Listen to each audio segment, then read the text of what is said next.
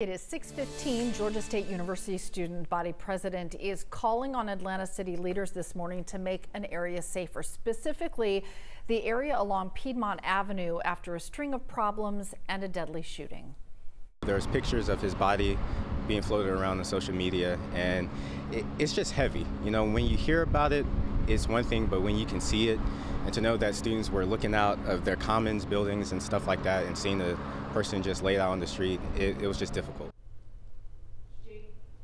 Javian Shepard says he wants to see investments in the area like pedestrian safety and more infrastructure. The RaceTrac gas station, now permanently closed after the shooting by the company, happened because of safety concerns.